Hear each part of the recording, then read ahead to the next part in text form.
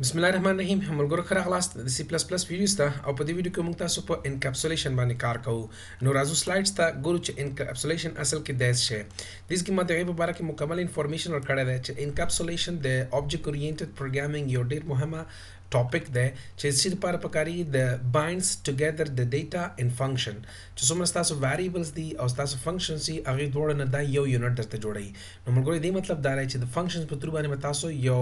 څه کار کوی تاسو به خپل د کلاس ډیټا اکسس کوی نو دا ایدی فایده به چی ایدی فایده دا ای چی کم ایکسټرنل اټیکس دی یا مثلا کم هیکرز دی یا هغه کسان چی تاسو کلاس یا پروګرام پورې ریلیټډ نه دی هغه به تاسو ډیټا اکسس کولای نشي ملګرو انکپسولیشن نه مطلب هم دغه دی چې دا د ډیټا سکیورینګ لپاره استعمالیږي سم ده نو راځو په دې باندې پریکټیکل کار کوو د دې به پریکټیکل ایگزامپلز هم تاسو درکمه چې کوم سره انکپسولیشن کانسپټ په پروګرام کې نیوي نو زموږ ډیټا څنګه یو کس کولای شي چې ایزیلی اکسس کړي یا نور کلاسونه یا نور فنکشن چې څنګه په کوم شکل باندې هغه ایزیلی کولای شي اکسس کړي ول په دې ویډیو کې موږ تاسو په دې باندې مکمل ډیسکشن وکړو نو اډوانټیج هم دغه هم دغه اډوانټیج د څنګه ما مخکې راته ویلې چې د دې فقط فقط اډوانټیج دا ده چې ستا ډیټا چې کومه ده هغه سکیور وي صحیح ده دا دلته تاسو ګورئ انکپسولیشن از ټو سکیور د ډیټا فرام انادر میتھډ د نور میتھډز فنکشنز یا نور کلاسونو نه کلیر دی دلته دا ته سمپل ویلی دی چې ټو میک انکپسولیشن که غواړي چې انکپسولیشن لاس ته راوړي نو باید چې دا دوه سټپ نظر کې ونیسي میک اول ډیټا ممبر پرایویټ چې څومره ستا ممبرز دی ډیټا د ویریبلز دی هغه ټول ته پرایویټ وساته او غینه پس موږ سره دوه فنکشنز جوړ کړي یو ته وایي سیټر بل ته وایي ګیټر فنکشن چې دا په انکپسولیشن کې استعمالیږي اوس موږ ګورو سیټر فنکشن چه ده سیټر فنکشن یو داسې فنکشن ده چه ته دغه په واسطه باندې ډیټا ته ویلیو ور اډ کړي او ګیټر فنکشن یو داسې فنکشن ده چه دغه په واسطه باندې ته یو پرایوټ ډیټا را اخلي او هغه په خپل پروګرام کې استعمالوي څنګه راځو په دې باندې مکمل پریکټیکل کار کوو دې سایت ته تاسو وګورئ موږ ما یو ایگزامپل اورلی کار کړی ده چې ما سره یو سکیل ده یو کلاس ده د سکیل په نوم باندې بیا کې ایکس او وای دي او دا دواړه ما سره پرایوټ دي او بیا دلته ګوره سیټ ایکس او سیټ وای دا دواړه ما سره سیټر فنکشنز دي او یو بل فنکشن دی د ګیټر په نوم باندې چې مثلا دلته ګوره سکیل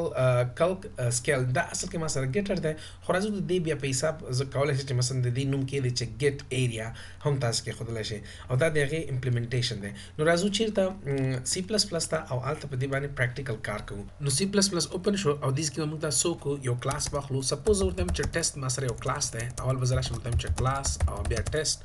نو دا ما سره یو کلاس ده په دې کې فور ایگزامپل زه ورته هم چې ما سره فل حال زه بغیر د انکپسولیشن نه یو کلاس کار کوم او کې تاسو ته وخم چې دا ډیټا څنګه اکسس کیږي د نورو فنکشنز نه یا د نورو کلاسونو نه نو فور ایگزامپل زه به ولا کې راشم دیس کې یو پبلک ایریا واخلم او دې کې ورته چې مثلا آی ټی ما سره اماونت ده اماونت یعنی چې کوم تاسو اماونت پیسې دی یا وات ایور چې زه به دې کوم چې فور ایگزامپل اماونت ما سره ده لس زره صحیح ده کنه پیسې یعنی ما سره لس زره دي کلیر ده اوس زه غواړم چې دغه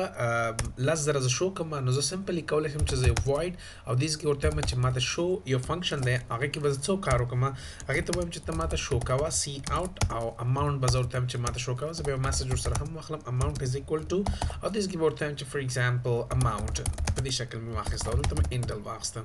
نو دا تاسو وګورئ ملګرو دا صرف ما یو فنکشن جوړ کړ دا هم پبلک دی او یو ما سره آینټي دا دا هم ما سره په دې ټیسټ کلاس کې پبلک دی اوس دغه ډیټا کولی شم زه ایزیلی د مین فنکشن نه او یا هم کچیر موږ سره یو بل کلاس دی غي کلاس نه زه دغه ډیټا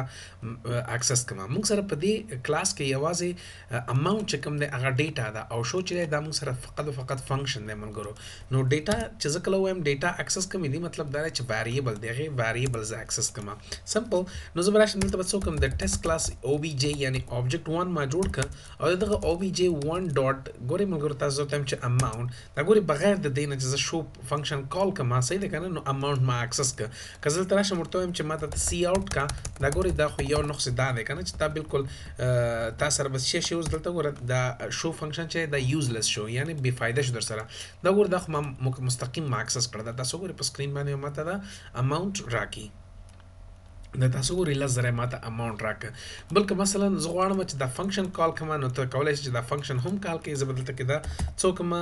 کمنټ به کم دیز کې ورشم تم چې او بي جي 1 ډاټ شو دا ګوري زه د شو فنکشن لارې هم کال کولای شم دا ګوري ما کال ک دا به تاسو شو کې چې اماونټ 10000 اوس ملګرو که یو کس وغواړي چې دغه د 10000 نه هغه وایي چې زه 20000 جوړوم دا نو هغه ګوره کولای شي چې مثلا د دې کلاس د اجازه نه بغیر ډایرکټ راشي دلته ورته وایي چې فار ایگزامپل obj1 ډاټ اماونت چې کوم دی هغه ماته مساوي کړ د 20000 سره صحیح ده کنه ما 20000 پکې ور واچولې نو ګوره دې مطلب دا دی چې ما دغه اماونت اکسس کړ زه دا اوس ګور رن کوم دا ګورې دا مستقیم ماکسس کوي کې ما انټری وکړله نو دا دا فل حال موږ سره انکپسولیشن نشته دی مثلا که زه راشم دلته فار ایگزامپل ورته هم چې کلاس یو بل کلاس دی ما سره د لایک فار ایگزامپل ټیسټ 2 یو کلاس دی د کلاس نوم دی دا کلاس غواړي چې څه کار وکړي دغه اماونټ اکسس کړي او دا ګورې ګر چې دا اماونټ چې دا ایدی کلاس ممبر نه دا ایدی کلاس ممبر دی خو چون دا غل د پبلک کې بخې دا کولای شي چې مثلا نور کلاسونه هم دا اکسس کی فور ایگزامپل زه براشن دې ته وایم چې اماونټ چې کم دی صحیح دی زه به دغه کلاس ټیسټ کلاس او بی جی جوړ کم دا ګورې سمپلی او غینه پس به زه تم چې او بی جی از ایکوال ټو او بی جی ډاټ اماونټ از ایکوال ټو 30000 دا ګورې از ایکوال ټو 30000 یا به زه تم ډاټ از ایکوال ټو او بی جی ډاټ اماونټ پلس که ورسره 15 زره زیاتې مې کړې صحیح ده که نه ګوره دا ټیسټ ټو ما سره یو بل کلاس دی چې هغه څه وکړه هغه راواخیسته د دغه ټیسټ ون دا کم اماونټ چې کم دی دا یې راواخیسته څه یې که زیاتې کړې 15 زره صحیح دی او هغې نه پس بیا ورته وایي چې ته ما ته څه وکړه ما ته یو فنکشن واخله د وایټ صحیح دی که نه زه به ولته کې راشم دې ځکې به زه څه ورته وایم دې ځکې به زه ورته وایم چې ما ته پبلک پبلک اکسس موډیفایر واخله هغه نه پس بزرگ تایم چه واید څوکا ډیسپلی که ماته صحیح ده کنه ډیسپلی قوسواس قوسبان او دیس که بزرگ تایم چه اوس ماته سی آوټ که څه شي سی آوټ کا زبر تایم چه اماونت دا ګوري همغه خبره ده از ایکوال ټو او دلته بزرگ تایم چه او بی جی ډاټ اماونت دا ګوري زه ام په کلاس کې د ټیسټ 2 خو زه ټوله ډیټا زما چې کوم کنیکشن دی یا کوم ایډیټینګ کوم اکسس کوم اکسسینګ کوم هغه د مخکینی کلاس یا د ټیسټ کلاس ډیټا کې زه کار کوم لګیا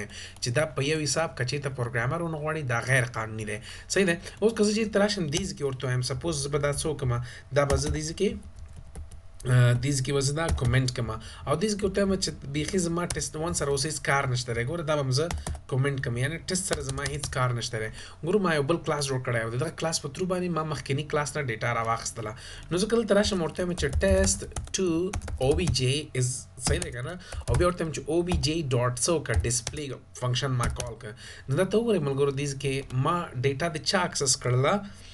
ښه دا څه وایي ملګرو دا به تاسو راواخلئ چېرته دا به د فنکشن کې دننه تاسو واخلئ فنکشن نه بغیر نه ځکه دا خو یو کلکولیشن دی تا وکړه نو یو فنکشن به دا کار تاسو ته اجرا کوي ته خپله ډایرکټ نه شي اکسس کولی دا مخکې هم ما ویلي خو صرف دغه لاین ما راواخیسته دلته مې فنکشن کې دننه واچوه او اوس راځم ورته چې دا فنکشن دا کلاس ما ته رن کړه یا پروګرام زدرن کوم دا تاسو وګورئ ملګرو ما د بل کلاس ډیټا را واخیست لای کې ما ایډیټینګ وکړ 15000 کړه مې دا صحیح ده کنه اصل کې ما سره زما اماونټ چې دی هغه 10000 دی خو ما یو بل کلاس پروګرام وکړ یو بل کلاس مې جوړ کړ د هغه کلاس په ترو باندې ما واخیست چې وکړه د بینګ یا د ټیسټ یا وټ ایور کلاس چې دلته موږ سره د هغه ډیټا ما اکسس کړه ایډیټ مې کړه او زیاته مې کړه غینه پس بیا ماته دا ما خپل ځان ته دا ډیټا شو کړله نو دې ته وایي چې ته پردی ډیټا اکسس کول ته وایي صحیح ده ملګرو په دې شکل باندې چې دا شی ګوره پروهیبیټ کولای هم شي پروهیبیټ یعنی دا ته یو کس منع کولای هم شي چې نه ته نشي کولای زما ډیټا ته اکسس کې نو په داسې حالت کې به بیا ته څه کار وکړې سمپل را بشي دا اماونټ چې دی دا به ته څه کې دا به ته پرایویټ کې دا چې کله پرایویټ واخستو نو دې مطلب دا دی ټس چې موږ سره کم کلاس دی دا موږ سره اوس انکپسولیټډ شو صحیح ده ملګرو اوس که ته مثلا فار ایگزامپل یو کس دا رن کوي دا پروګرام سره کوم دا ماته وایي چې دلته زه دا اماونټ ما سره پرایویټ ده دلته که زه دا نه پیژنم دا دا وایي چې زه دغه اماونټ نه پیژنم ګوره که زه دا ختموم فار ایگزامپل زه دا دلته څه کار کوم کومنټ کوم نو بیا پرابلم حل شي دا سره کوم دیز کې هم ما یو ځل استعمال کړی دی زه به دا هم کومنټ کوم نو اوس به تاسو پرابلم حل شي دا ګوره پروګرام رن کیږي دا ګوره تاسو ته خالی راولي صحیح ده کنه ځکه ما غا ډیټا ختم کړه یعنی دغه ډیټا چې کومه ده دا موږ څه شکل سټاپ کړل د بهر اکسس کولو نه یعنی یو بل نور کلاسونه نه شي کولای چې دا مستقیمه اکسس کی نو دغه کنډیشن ته اصل کې انکپسولیشن وایي ملګرو دغه ډیټا به اکسس کیږي څنګه یا دغه ډیټا باندې به اپریشن څنګه کیږي او سمپل دی تاسو د سیټر او د ګیټر فنکشنز لار نه کولای شئ چې دغه فیسیلیټیز یا دغه فنکشنز یا کلکولیشن ځان ته تاسو بیا اجرا کړئ مثلا ګورئ زه راځم سمپل یو سمپل پروګرام به واخلم دا زوړ پروګرام به زه ریډیوس کړم لږ به کم دلته کې به زه راشم سمپل به ورته وایم چې اول ما سره پرایویټ دی نو کله چې تاسو انکپسولیشن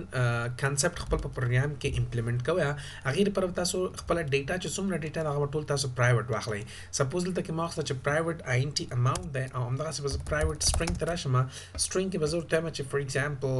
ای ایم پي نیم مې واخیسته نو د ګورئ دې دا ای نیم موږ سره هم پرایویټ دی که تاسو غوښتي وي چې دې ځکه یو ډیفالت نیم ورته واخلئ فار ایگزامپل خان دا هم اخیستل شي او که تاسو غواړئ چې فار ایگزامپل دا ایمټي یا خالی پرې دی بیا روسه تاسو د سټر او د ګټر له لارې نه غواړئ چې دې کې مثلا ډیټا واچوي دا هم کولای شي ملګر دا موږ سره زموږ ډیټا شول چې دا موږ سره پرایویټ ده یعنی انکپسولیټډ ده اوس د دغه ډیټا اکسس کول د لپاره تاسو کار کوئ د هر یو فنکشن د لپاره سوري د هر یو ډیټا میموري یا ویریبل د لپاره تاسو څه کار کوئ ګیټ ګیټر فنکشن واخلئ نو ګیټر فنکشن څنګه اخیستل کیږي فار ایگزامپل زه غواړم چې ای نیم ګیټر فنکشن جوړ کړم د غیر لپاره چون دا ما سره سټرینګ د زبر راشن ته ورته چې سټرینګ ګیټ نیم به واخلم یا ګیټ ای نیم به واخلم ای نیم صحیح ده کنه امپلوی نیم او دیس کې ورته چې ما ته دا ریټرن کوا په دې باندې تاسو خو پوه یاست اوس چې ایم پی نیم مال ته واخسته چې دا څه شي تاسو ته رینټ کوي دا به تاسو ته یو دا نیم به تاسو ته ریټرن کوي سم ده ملګرو او هم دغه څه ورته وایم چې بل د آین ټي ګیټ څه ورته وایم اماونټ ورته وایم دا ګوري ګیټ اماونټ او دیس کې ورته وایم سمپل ته ماته ریټرن کوا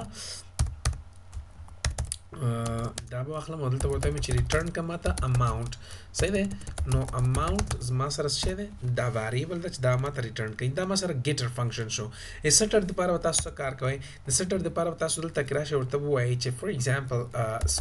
سټرینګ نه وایډ ځکه سیټینګ فنکشن چې دی هغه به ریټرنینګ نه کوي صرف به سیټینګ کوي صحیح ده زه ورته وایم چې سیټ نیم صحیح ده که نه سیټ ای نیم مې واخیسته او داسې کې ورته وایم چې سټرینګ به دې ته پاس کېږي د ای ایم پي نیم په نوم باندې او هغه ای ایم پي نیم چې کوم دی د تاسو ګورې ملګرو دلته به زه راشم دا به ورته اخلم او زه ورته وایم چې دس دس ډاټ څه شی ای ایم پي نیم ماته مساوي که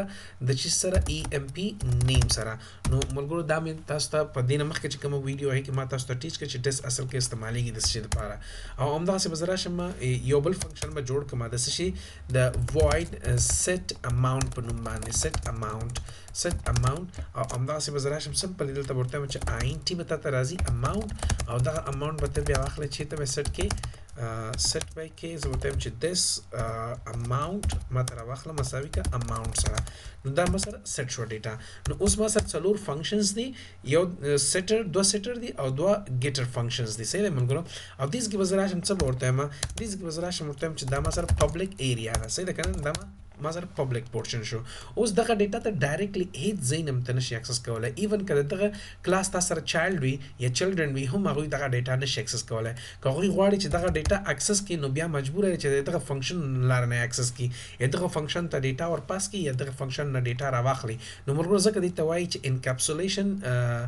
از یوزډ ټو یونټ ډیټا ډیټا ان فنکشن یونټ نه مطلب دا دی چې دا دواړه اوس موږ سره یو یونټ دی سمه ده ملګرو همدغسې که اوس زه راځم د دغه دغه ډیټا زه اکسس کوم نو دغه کنسپټ ته اصل کې وایي څه شی دغه کنسپټ ته وایي انکپسولیشن ملګرو په انټرنیټ باندې زیاتره شاګردانو مانه پوښتنه کړې چې د انکپسولیشن او د ابستراکشن په منځ کې فرق څه دی نو زه به دلته تاسو ته ووایم چې په دې ویډیو کې تاسو انکپسولیشن زده کړه په را روانو ویډیو کې به زه تاسو ته ابستراکشن اصل کې ووایم چې ابستراکشن څه دی په سی پلس پلس کې په جاوا کې ډیر زیات فرقونه دي د انکپسولیشن او ابستراکشن خو په سی پلس پلس کې دومره خاص فرق نشته ډیر یو باریک فرق دی هغه به زه په را روانو ویډیو کې به تاسو ته ووایم چې وات از د ډیفرنت وات از د ډیفرنت ډیفرنت بټوین صحیح ده کنه بټوین ابستراکشن and encapsulation encap سوليشن صحیح ده نو دا به زه تاسو بل ویډیو کې پرېږدم ځکه د دې لپاره باید چې تاسو ابستراکشن باندې ځان پوه کړئ کلیر ده خیر هغه زموږ را روان ټاپک دی نو راځم اوس دغه ډیټا به زه اکسس کوم څنګه دغه ډیټا اکسسینګ اوس ډیر ډیر اسان هم دی او هغه کس ته به دا معلوم وي چې دا کوډ د چا دی صحیح ده کنه مثلا زه دې دغه پروګرام پروګرامر چې یم هغه زه خپل یم نو زه اوس ماته پته ده چې زه مثلا د اماونټ په کوم فنکشن باندې زه اکسس کوم یا مثلا ای ایم پی نیم چې دا به زه په کوم فنکشن باندې اکسس کوم او په کوم فنکشن به زه یې کې ډیټا ور اچوم دا نورملی هر چاته پته نه وي مثلا کوم کسان چې زما ریلیټډ ټو مای کوډ یا زما کوډ ته ریلیټډ یا کومه علاقه نه لري ورسره هغه ته معلومه نه وي چې مثلا ما کوم څه فنکشن استعمال کړی دی هغه به د پروګرامر خپل کار دی چې مثلا دغه فنکشنز کولای شي چې بیل بیل نومونه ورته ورکړي خو چې دلته سیټ او اماونټ او سیټ اینیم مې ځکه اخیستی دی ترڅو مثلا تاسو ته دا واضح شي یعنی بهتره تاسو ته واضح شي نو زه به راشم د ټیسټ کلاس د ټیسټ کلاس به یو آبجیکټ جوړ کړم او زه دغه آبجیکټ په ترو باندې زه کولای شم چې هغه ډیټا اکسس کوم چې کوم موږ سره انکپسولیټ د دا دواړه اکسس کوم نو ته اوس مستقیم نه شي کولای چې ورته وای فار ایگزامپل چې ته ورته چې آبجیکټ ډاټ ای نیم زه ای نیم ماته مساوي کوي یا ای ام پی یا اماونت اماونت دا ګوري هیڅ کار نه کوي اماونت از ایکوال ټو دا ګوري مثلا پیسې ور واچولې یا زیات کې یا می کم کې نو دا اوس اصل کې ایرر ده که زه دا رن کوم دا ماته وایي چې زه دا بیخي پیژنم نه دا ما سره اصل کې اماونټ پرایوټ ده سو یو ار ناټ الاوډ ټو اکسس اماونټ کلیر ده نو دې لپاره ته څه کار کوي د دې لپاره به ته راځې دلته به څه ورته وایي چې آبجیکټ ډاټ اول خو ماته څه وکړه ګیټ اماونټ دا ګوره ګیټ اماونټ راته واخله چې زه وګورم چې څو روپۍ دې پکې ګوره نو زه به راشم سی آوټ او دې ځای کې به دا ګورم دا ماته شو کړي اوس ګوره ما دا رن کړو دا به ماته دا شو کړي چې اماونټ کې دا سره لس زره دي که ته پکې چینجز راوړې نو دینه مخکې بیا راشه ورته وایي چې آبجیکټ ډاټ سیټ اماونټ دا ګورې سیټ اماونټ څو یې سیټ کوي فار ایگزامپل ما اتیا زره سیټ کړه دا نو اوس زه رن کوم دا ته وګوره ملګرو ما اتوماتیکلی چینج کړ او دا یې راته چینج کړ دې ځکه په سکرین باندې هم چینج کړ نو دلته اوس ګورې دا دوه فنکشن یې ما سره سیټ اماونټ او ګیټ اماونټ صحیح ده کوم د دې د لارې نه یعنی ته مستقیما نشي کولای ډیټا اکسس کړې ته به د یو فنکشن په تور باندې هغه اکسس کوي نو دغه کنسپټ اصل کې انکپسولیشن وایي سپوز که زه راځم دلته څه ورته وایم